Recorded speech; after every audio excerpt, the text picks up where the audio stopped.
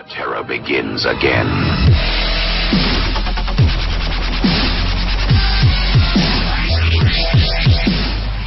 สวัสดีค่ะ สวัสดีตอนเช้านะคะ ยินดีต้อนรับเข้าสู่ w e a l t h y l i Channel วันนี้วันที่ 26 กุมภาพันธ์ 2562 เล็กจะมา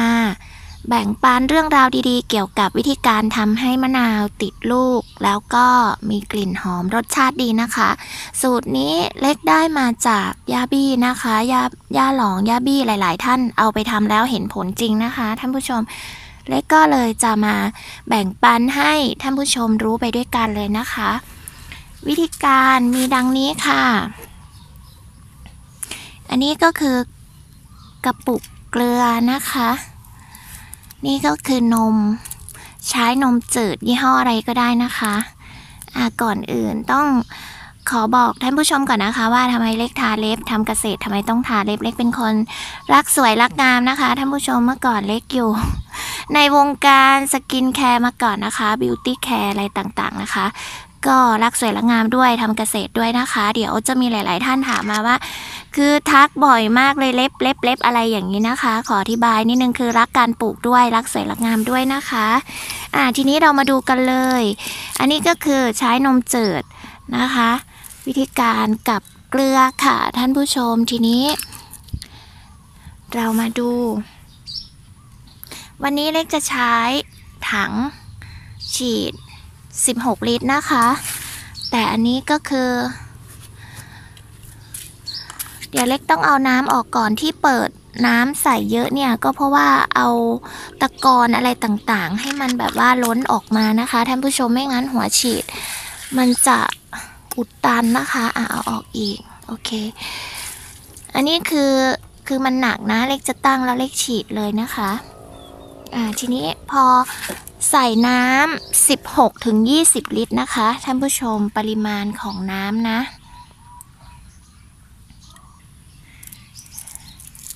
อ่าทีนี้ก็ให้ใส่นมนะคะ นมจืด 1 กล่องต่อน้ำ16ถึง20 ลิตรได้นะคะ ให้ใช้นมจืดนะคะ อย่าใช้นมหวานเพราะว่าในนมหวานมีน้ำตาล มันจะทำให้เพี้ยแล้วก็มดมานะคะ ส่วนนมจืดไม่เป็นไรค่ะ ใส่ลงไปเลย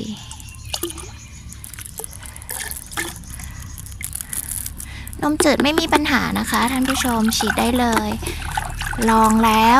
ตัวนี้หลาย ๆ ท่านอาจจะถามว่าใส่กับมะนาว ฉีดใส่มะนาวได้อย่างเดียวหรอไม่เลยค่ะพริกผักต่างๆ ได้หมดนะคะ อ่า ทีนี้พอใส่นมแล้วเราก็คนนะ จากนั้นก็ใส่เกลือค่ะ เกลือกระปุกนี้พี่สาวเล็กทำไว้ให้สำหรับการล้างผักนะคะเล็กก็จะเอามาใส่ อย่าใส่เยอะนะคะท่านผู้ชมประมาณปลายช้อนที่เห็นนี้นะคะ เกลือมีโซเดียมนะคะ จะเพิ่มความแข็งแรงให้กับ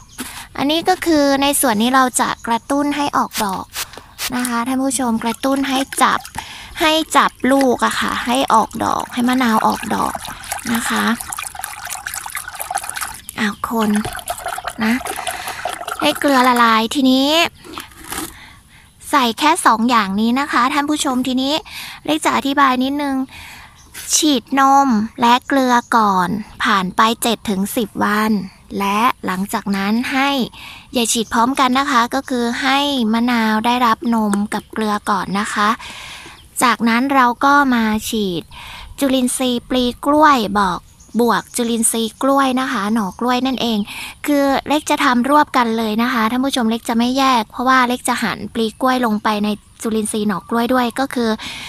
ในจุลินทรีย์ปลีกล้วยมันมีธาตุอาหารเยอะซึ่งมันต่างกันกับหน่อกล้วยในปลีกล้วยนะคะ หลายๆ ท่านก็คงจะรู้ว่าแบบ คือมันมีประโยชน์อย่าง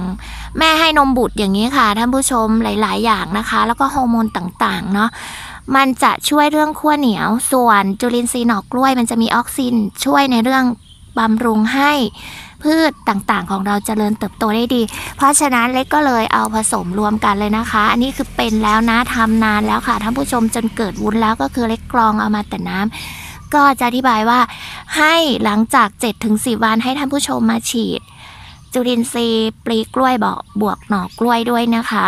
ให้มาฉีดจุลินทรีย์ปลีกล้วยและจุลินทรีย์หนอกล้วยที่เห็นนี่นะคะ ก็คือใส่ลงไป 6 ช้อนแกงต่อน้ำ20 ลิตร ก็ถ้า 16 ลิตรก็ใส่ประมาณ 5 ช้อนแกงได้นะคะ 6 ถึง 8 ช้อนแกง อันนี้คืออัตราที่ไม่เป็นอันตรายต่อพืชนะคะนี่มาบอกแล้วนะคะ หลังจากนั้นค่อยฉีดนะเพื่อให้เน้นย้ำอีกทีหนึ่งเพื่อให้ดอก เพื่อให้ดอกของมะนาวไม่ร่วง เพื่อให้ขั้วเหนียวค่ะ ท่านผู้ชม เพราะเล็กเคยเจอมาแล้ว เล็กเคยก่อนหน้านี้เมื่อสองสามปีที่แล้วนะ คือเล็กดูมาแล้วแล้วเขาบอกว่าให้เอาเอผงชูรสอาหารละลายแล้วไปฉีด ไปฉีดใส่อดอกมะนาวนี่แหละ มะนาวเล็กออกดอกแล้วนะคะ บานสะพังแบบสวยงามเหมือนแบบว่า ดอกมะลิบานเลยอะค่ะ ขาวงามมาก ก็เลยเอาไปฉีดด้วยความที่ว่าเราเรายังไม่แบบได้เรียนรู้แล้วเราก็ใส่ผงชูรสเยอะเกินไป พอเอาไปฉีดนะนะคะแบบคือดอกผ่านไปไม่ไม่ถึง 10 วันร่วงหมดเลย แล้วก็ไม่ติดลูกด้วยนะคะ ตัวนั้นอันนี้คือสูตรที่เล็กบอกเนี่ยคือเห็นผลจริง ๆ อ่าทีนี้ ก็คนนะคะ คนจนให้เกลือละลายดีเดี๋ยวเล็กไปขอคน เอาไม้มาคนก่อนนะคะ อะโอเค ได้แล้ว เดี๋ยวต้องปิด ฝาก่อน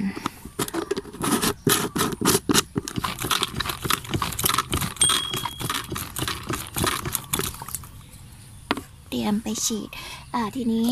มาดูทางต้นมะนาวที่เล็กจะฉีด อันนี้ก็คือใบมันเป็นฤดูใบไม้ร่วงมะนาวจะใบร่วงนะคะ แล้วมันก็จะแตกใบและอีกส่วนหนึ่งก็คือเล็กมาเด็ดใบมะนาวแล้วนะคะ เด็ดทิ้งด้วย ตัดทิ้งด้วยนะคะ ก่อนที่เราจะฉีดให้ท่านผู้ชมช่วยมะนาวด้วยโดยการที่ว่าเรามาตัด ตัดกิ่งออกด้วยนะคะ กิ่งไหนที่แบบว่าเออเราดูแล้วแต่อันนี้เออแตกยอดแล้วเราก็ไม่ต้องตัด เนี่ยค่ะ จริง ๆ แล้วเดี๋ยวขออธิบายนิดนึงมะนาวต้นนี้เล็กเคยถ่ายไปก่อนหน้านี้แล้วนะคะ ที่ว่ามาใส่ปุ๋ยคอก แล้วเล็กพลาดตรงที่ว่าเอาจุลินทรีย์สังเคราะห์แสงมารดใส่เพียวๆเป็นขวด 1.5 ลิตรนะคะคือก่อนหน้านี้มะนาวจะสวยมากสวยมาตลอด แล้วพอใส่จุลินทรีย์สังเคราะห์แสงเพียวๆไปก็คือดินตรงนี้มันแร่ธาตุดีนะคะ ท่านผู้ชมจะสังเกตว่า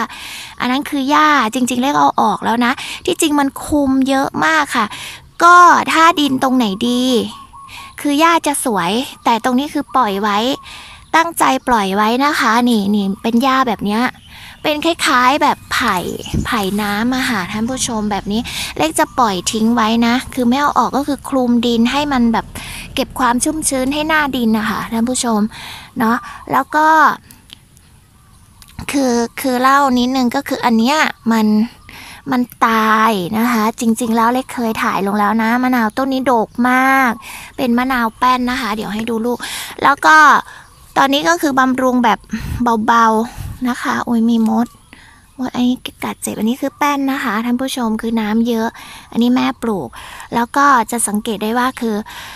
คือยอดขึ้นเยอะมากค่ะ ยอดขึ้นเยอะมากดีนะคะ เปลือกบางน้ำเยอะกลิ่นหอมนะมะนาวต้นนี้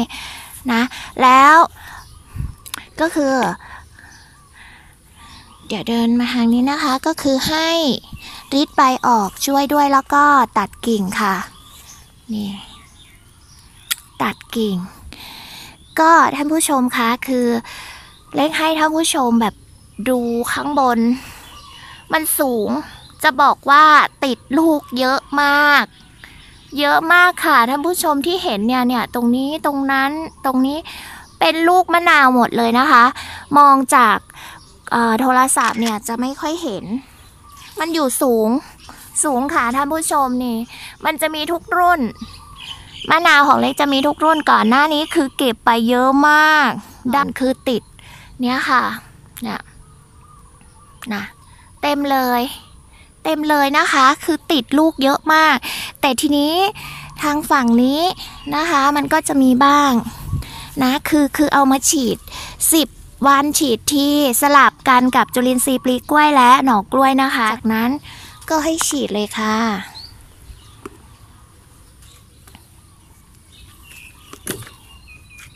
ฉีดให้ทั่วเลยนะคะ ฉีดให้ทั่วต้นมะนาวเลย ฉีดมากฉีดน้อยไม่เป็นไร เพราะว่านมหนึ่งกล่องต่อน้ำ16-20ลิตรนะคะ ฉีดไปเลย ประมาณนี้นะ เดี๋ยวเล็กไม่ค่อยถนัดนะคะเล็กฉีดให้ท่านผู้ชมดูก็มาอธิบายให้ฟังหลังจากนั้นเล็กก็จะเอาฉีดนะคะ ให้ทั่วต้นนะ อันนี้เป็นวิธีการที่ มีคนทำแล้วสำเร็จแล้วก็เล็กเอามาทำมันก็ติดติดลูกอะค่ะถ้าใกล้ๆกันก็เป็นมะม่วงแก้วค่ะ ท่านผู้ชม แล้วก็อันนี้กำลังงามเลยพริกเล็กนะคะ คือเล็กจะฉีดด้วยนะ มีใบเหลืองก็เด็ดออกมันเป็นธรรมดานะคะ ที่พริกใบแก่นะนี่ฉีดได้หมดค่ะ จะอธิบายว่าสูตรที่เล็กทำเนี่ยก็คือฉีดได้หมด ท่านผู้ชมดูอย่างอย่างให้เห็นจังเลยพริก พริกชี้ฟ้าเป็นช่อนะคะน่ะมันสีสีเขียวนะโอ้เยอะมากนะคะ ตอนนี้พริกกำลังติดดอกติดลูกเต็มเลยค่ะมะละกอ โอเค เล็กมาบอกแล้วนะคะ เดี๋ยวให้ดูภาพไกลๆก่อนนะมะนาวเล็ก คือตัดกิ่งด้วยแล้วก็รีดใบด้วยนะคะ นี่ แต่ถ้าไปดูใกล้ๆคือจะเห็นลูกมะนาว สีเขียวๆติดเต็มเลยนะคะ นี่นี่นี่นี่ให้ดูตรงนี้ นี่เห็นไหมนี่ค่ะ ติดเต็มเลยค่ะ เอามาฉีดเลยนะคะท่านผู้ชมทำตามสูตรนี้ อันนี้ข้างหลังก็เป็นอะไรคะต้นกล้วยสูงมาก สูงจะเท่าต้นไอ้อะไรนะมะม่วงทองดำมะม่วงทองดำนะคะ ที่เห็นอยู่ข้างหลังกำลังติด ติดดอกติดลูกนะ อะ ไม่เล็กอยากถ่ายให้ดูแบบธรรมชาติสีเขียวนะต้นไม้นะคะที่ที่เราสามารถปลูกได้ด้วยมือของเรานะคะ ปลูกได้ลงมือปลูกได้ด้วยมือของเราคือ เริ่มเลยนะคะท่านผู้ชมคือเล็กมาชวนชวนปลูกไปด้วยกันคือ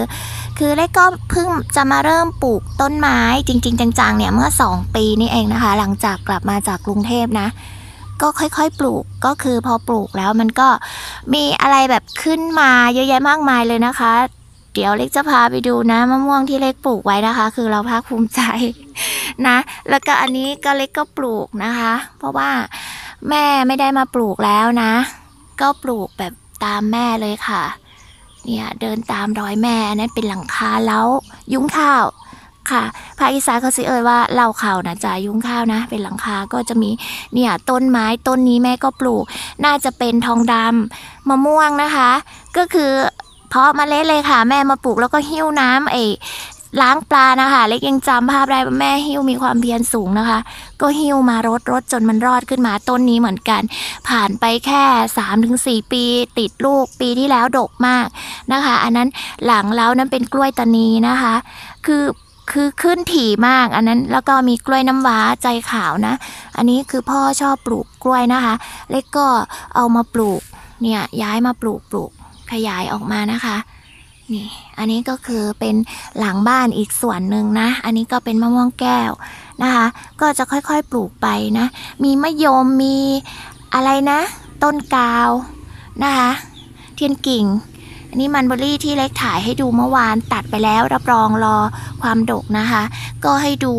มาชวนปลูกไปด้วยให้ดูไปด้วยนะอันนี้พริก คือเดี๋ยวให้ดูตรงนี้อีกอ่าดูแล้วก็ดูเลยนะคะ ดูท่านผู้ชมดูพริกเล็กนะ เนี่ยอันนี้ก็เป็นพันธุ์มะละกอแขกดำคือเออกินแล้วอร่อยเล็กเอามาหวานลงเลยนะคะ เพราะว่าแม่ไทยจะเซียนมะละกอเขาก็บอกอย่างนี้นะ แล้วก็อันนี้จริง ๆ มันจะสวยกว่านี้แล้วคือต้องย้ายลงแล้วนะคะ อันนี้คือพริกทั้งหมด ต้นกล้าพริกนะคะ คือเดี๋ยวเล็กจะเอาไปปลูกแล้วนะค่ะก็มาชวนนะคะ ปลูกไปทีละเล็กละน้อยมันก็จะเยอะขึ้นมาเองนะคะท่านผู้ชมมันก็จะเยอะ ค่ะสำหรับคลิปนี้เล็กก็มาแบ่งปันเรื่องราวเกี่ยวกับวิธีการทำให้มะนาวออกดอกเยอะขาวโพลน และที่แน่ ๆ เลยออกดอกแล้วจะต้องติดลูกแล้วก็ขั้วเหนียวด้วยนะคะทำตามสูตรนี้ได้เลยค่ะ ค่ะ ขอบคุณที่ติดตามรับชม คอมเมนต์มาเพื่อเป็นกำลังใจให้เล็กด้วยนะคะ และก็อย่าลืมกดติดตามกดกระดิ่ง เพื่อชมคลิปใหม่ๆมีเรื่องราวดีๆ มาบอกต่อแน่นอนค่ะ คลิปนี้ไปแล้ว บ๊ายบาย สวัสดีค่ะ